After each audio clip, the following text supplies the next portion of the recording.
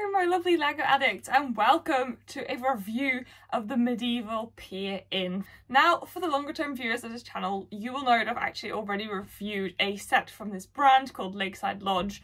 Um, if you're interested in that review there is a card above, you can check it out. I found that a really interesting and mixed bag so do check that out if you're interested to see my opinion on that. Also for full transparency, this set was sent to me by FO themselves for free all the opinions in this video are my own. I'm not being paid for this review. I've just been sent a set. Also, when the FO reached out to me to ask if I wanted to review another set, I was initially actually pretty skeptical and I wasn't sure if I wanted to. I reviewed the Lakeside Lodge because I was really curious about alternative brick companies and really just wanted to give a set a try and that seemed a really good way to do that. I just wasn't really sure if this brand was going to give me a different experience the only reason I ended up actually saying yes is because FO assured me that I'd taken my feedback on board and had actually made changes. When I saw the pictures of the set when it was being produced, I noticed straight away that the base was made out of plates and not made out of bricks, which if you've seen the previous review, you will know that that was my initial problem.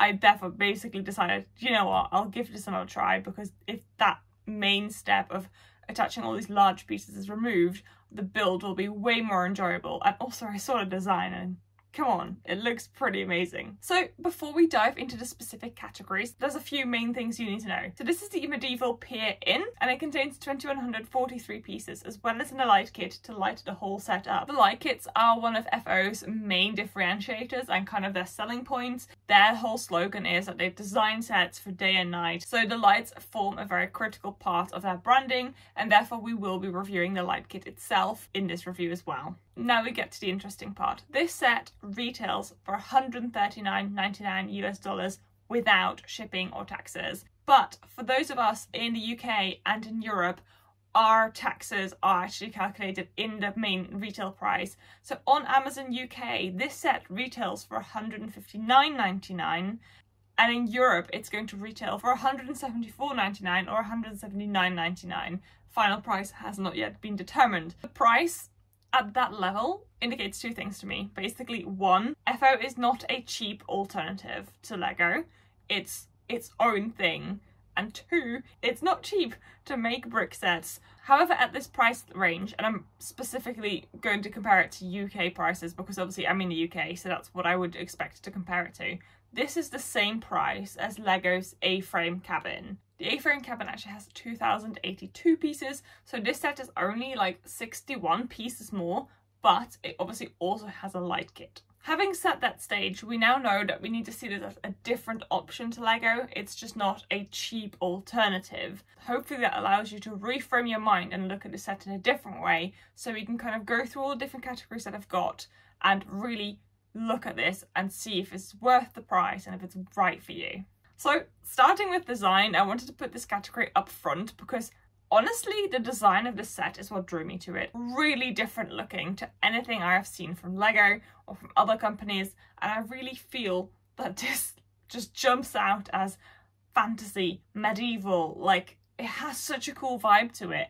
It's such a nice building. The fact that it's such a beautiful building as well as something else that really attracted me to it because I love my buildings as you know. I think this like would not be out of place in like a D&D campaign. It's like a centerpiece. There are just like details everywhere. Like the interiors are just chock full of details, which is something that I actually commented on in Lakeside Lodge as well. And it's something that I really like.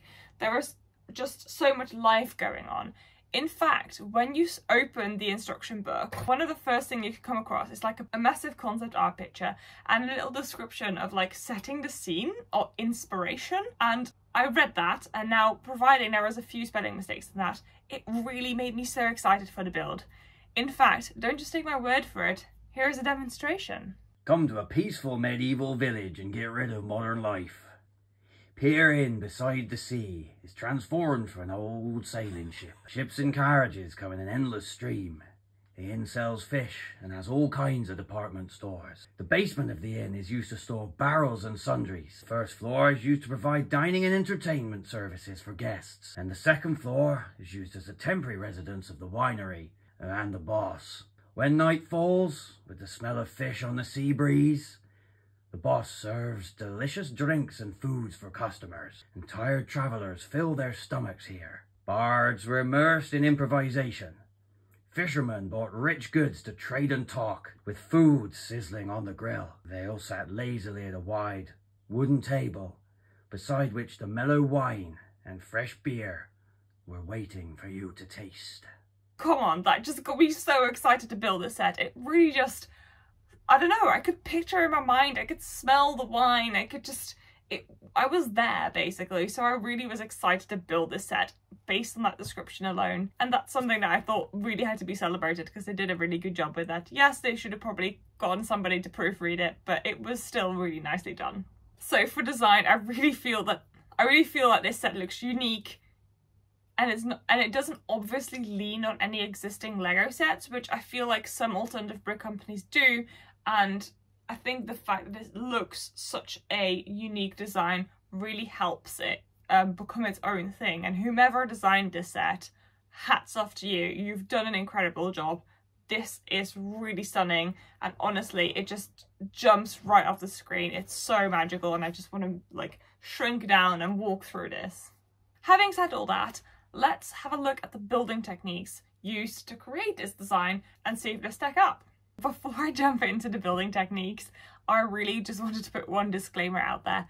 This was the first set I built after Rivendell and um, Rivendell is legitimately the best build I have done forever. It's my favourite Lego set. I think any set that I build straight after Rivendell would really suffer in comparison. I felt like I was being quite harsh on a set, but I had just come from such an ingenious build so I just wanted to put that out there. Basically, this set had some really interesting building techniques, but nothing that blew me out of the park in the same way that Rivendell did. There wasn't anything that was like, oh my god, I would never have been able to come up with this. But it definitely still really was a fun build. It just wasn't as elegant as Rivendell, basically.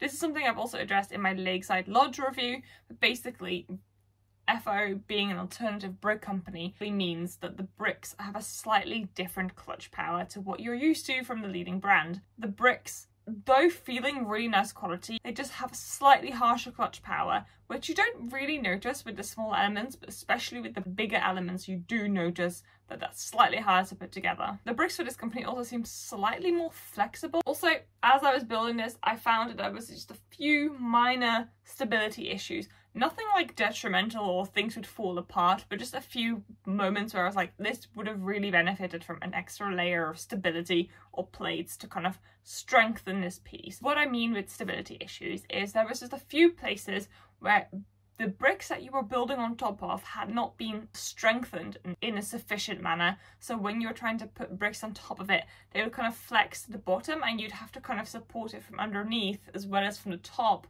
in order to like clutch things together. So this was especially noticeable when I built the base. The base is like a really large plate base, which was way easier to build by the way than the base for the Lakeside Lodge. So yay.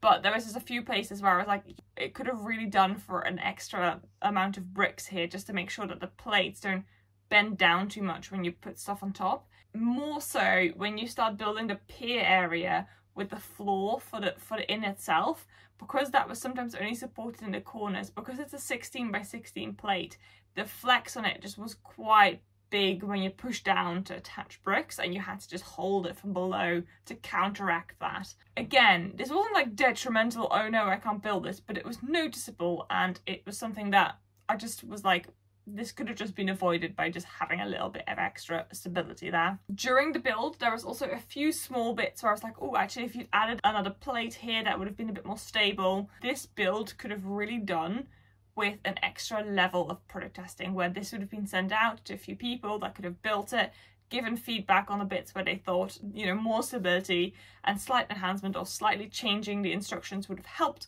just for clarity just for like making things easier to build that kind of stuff it just felt like it was one step away from being perfect basically. These stability issues kind of continued and kind of came to a head with the first floor or the second floor depending on how you want to count.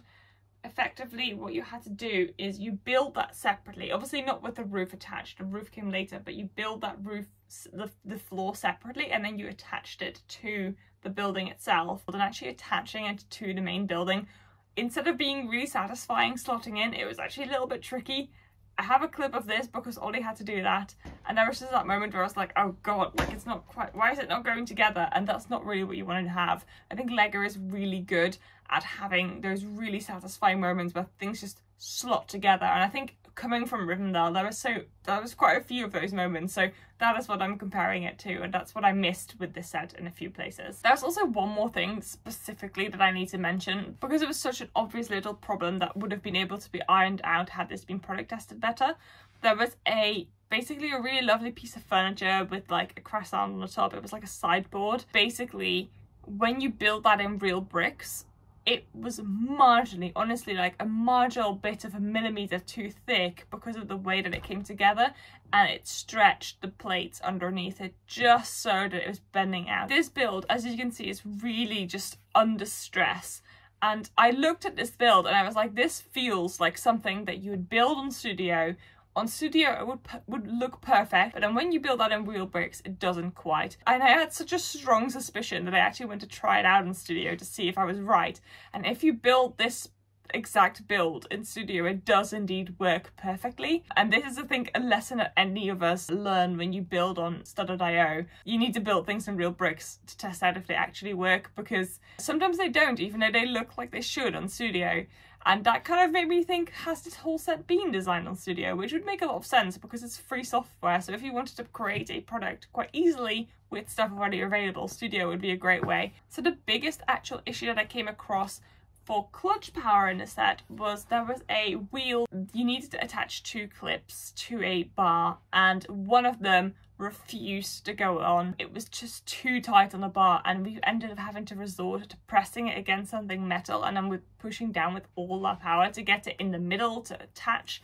And honestly, had this not been for a review, I probably would have just left it off because that was such a faff. But also that was genuinely like the worst thing that happened during this set. That was definitely more like an exception and not at all a rule, but I still feel like I had to mention it because it was really difficult. Alright, so having touched on those negative points, there are a few things that were really nice and I really enjoyed doing the build.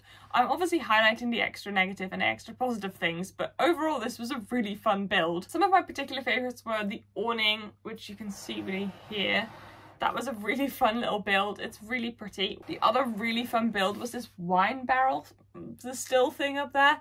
Really liked that. That was really clever. There was quite a few little clever builds and there's a good use of clips and bars and things in this set in order to like create nice angles. Though similar to the Lakeside Lodge as well, the roof, I just really like the way they make their roofs. They look really good. They look a bit weathered, but really like the technique they use so again that was really nice. So overall the build was really fun, there was loads of beautiful detail and it really came together and lived up to that inspiration promise that we had at the start. But it could have just done with a slightly bit more product testing just to make sure that everything in the instructions was correct and everything worked as intended. So now for the quality segment and even for Lego I have quite a bit to say about this as you will have known from my Rivendell review so there is no surprises here that I have some pointers and thoughts and concerns about this set. So obviously there's already a few things that I've mentioned like the clutch power, like some of the things being under stress, but there's also just a few new things. So the stickers, which it's hard to call them stickers because they're really more like transfers,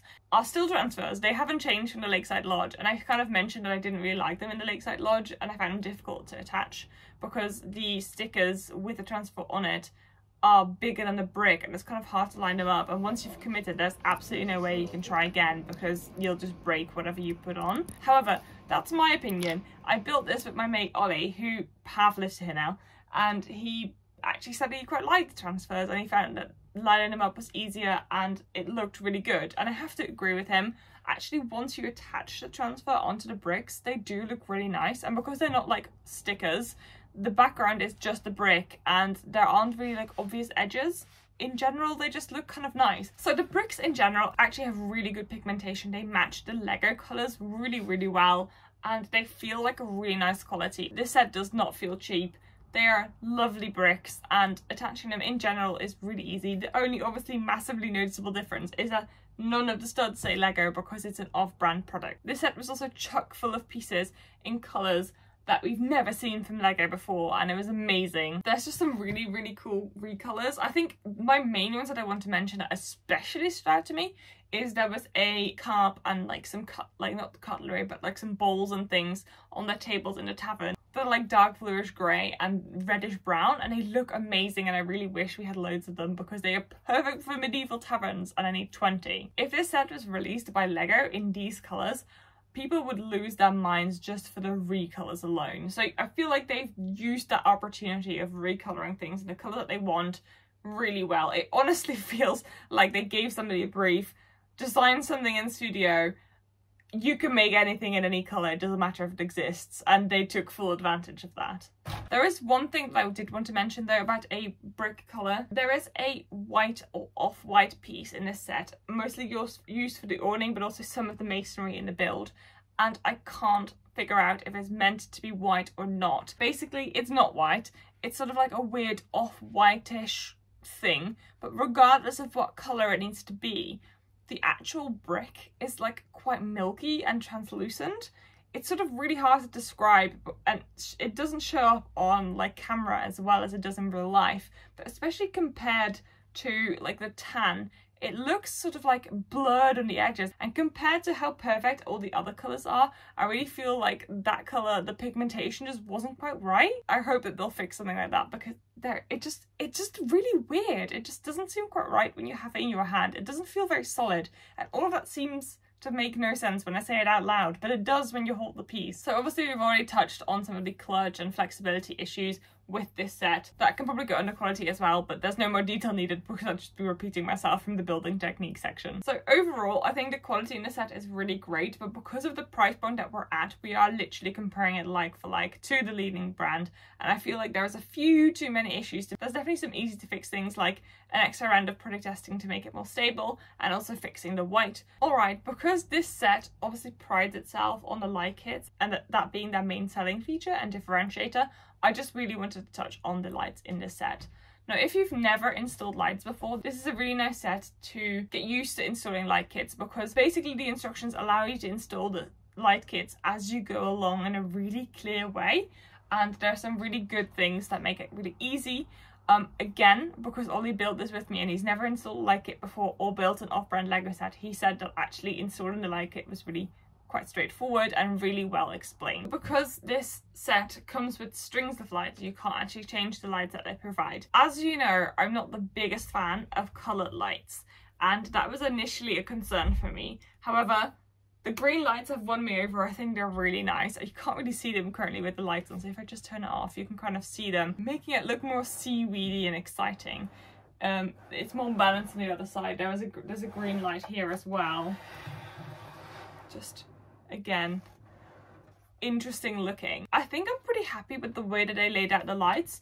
I personally think that in general it looks lovely. The only lights I probably personally would change is the light in the cellar. I would probably make warm white and then this light for the fire I'll probably make orange. I think it's way too red in my opinion it's really rather bright. That being said, the lights do really make it look magical and I do really enjoy building with the lights on as well. It was one of the things that swayed me for the Lakeside Lodge as well. However, I do have to be honest with you guys, so I did have a few issues with the lights in this set. So basically, I had some issues with the lights on the first floor in particular. They just kept on flickering or going off completely, which generally indicates to me that one of the cables is being like squished too much. So I tried finding out where that was like a point where they were being squished too much so I could loosen it up and I just couldn't find it and eventually like basically all of the bits where the cables are is now loose so when you look at my set there is just a lot of cables on the first floor because eventually I had to just loosen everything and now it seems to be more stable. I still think that the lights at the top floor aren't as bright as they could be and not all of them are working as much as I want to. I wasn't really sure if I wanted to include that because obviously that could be user error. So there's also a really cool brick included in this set in the bags for the lights, which basically have a little canal at the bottom of them so you could put you could pass the cables through them really easily. I've not had this in any of the other like light kits that I've bought and honestly it made installing and hiding cables or at least passing cables through things so much easier so I'm really happy about those so they're they were a great addition. Overall they just add a lot of ambience and I do really think it makes the set extra special when you build it. I mean they make a big deal out of the lights but they do make it really magical and it's definitely a differentiator so I can give them that at least. That's just a few really quick things that I wanted to mention Basically, um, this set comes with minifigures. The Lakeside Lodge didn't. They had their own design. Oh my goodness, I have to show you. They're so funny. I have to say, at least they don't look completely cursed because I have seen some and they are terrifying. I think they have a sort of cuteness to them. I don't know if it fits the aesthetic of the set in that way, but they're kind of alright. Obviously you can tell the hair models are actually the same as Legos. These are like really adorable and this one just, look at him. He looks like either he's not had a lot of sleep or he's um he's on something. Don't get me wrong, obviously the minifigures reign supreme, but they're kind of adorable. They have something to them. Just looking at the set, I think this is a really nice set. It tells some stories. I love that it's like a cat chasing a mouse in a cellar. There's so many food details, little interior details. It feels really like dollhouse-like, but like in the best possible way. A bit like the Lakeside Lodge set and the thing that I love so much about that one as well. And it really does come together into so like the most fantastical, magical fantasy set that I feel like I wish I had more of. However, I feel like I have to be honest, through kind of exploring alternative brick companies and their products, I've kind of noticed that the fact that Lego holds its value really well is actually really important to me. I always know that it's something that I use to kind of justify some of my purchases, but I never knew how important it was to me until I had this set because I can't get around the fact that it's very likely that when you buy this set for the price it goes for, if you want to resell it, you're going to get half, maybe not even that, because there isn't really the market for it. Whereas with Lego, even if you like have just built it and something on, you're still probably going to get three quarters of the price that you paid for it, if not more. And then when if you wait until it's retired, you're just going to get the full asking price back pretty much because that is just how the value keeps those sets. And I find that it really helps me justify some of my purchases. I'm not going to lie, 160 pounds for this set is not something that I can just go and spend without thinking about it. I find it hard to kind of like wholeheartedly recommend a set like this to somebody when I know that I probably wouldn't have been able to justify this to myself. As I said at the start of this review, this company and these sets are not a cheap alternative to Lego. They are just a different type of set and a different company. And they produce stuff that Lego doesn't, so it's kind of filling a different niche. And as much as I really think that's awesome, and the stuff that they produce is actually genuinely really nice quality and looks really awesome and feels unique, I find it so much harder to justify just because of the value proposition. And in a way, I kind of feel bad because this set has been designed by somebody that is genuinely really good at designing. Look at it, it looks magical. But because of the price tag where they're at, it feels like a much harder sell than it could have been if it was cheaper. And the fact that I don't think I would spend my money on this set doesn't mean that this set is bad or anything like that. However, everybody has different values and different ways to justify things to them. I think if you're a huge fantasy and pirate fan or if you have a D&D campaign where this would come in handy or if you just like magical buildings, this would be perfect for you. It's a fun build. It looks amazing, especially on a shelf because it has the lights. This is definitely a really nice set. I genuinely really hope that this set and this brand finds the niche that it's looking for and really can exist because this set has generally had a talented designer work on it. I think that's all I have to say for this set. I hope you found this useful and I hope that you understand where I'm coming from. It's been a really interesting opportunity to review sets like this but I don't think I'm planning on doing it anytime soon. And I will see you in the next video my lovely LEGO addicts. See you so soon. Stay well. Goodbye. Hello.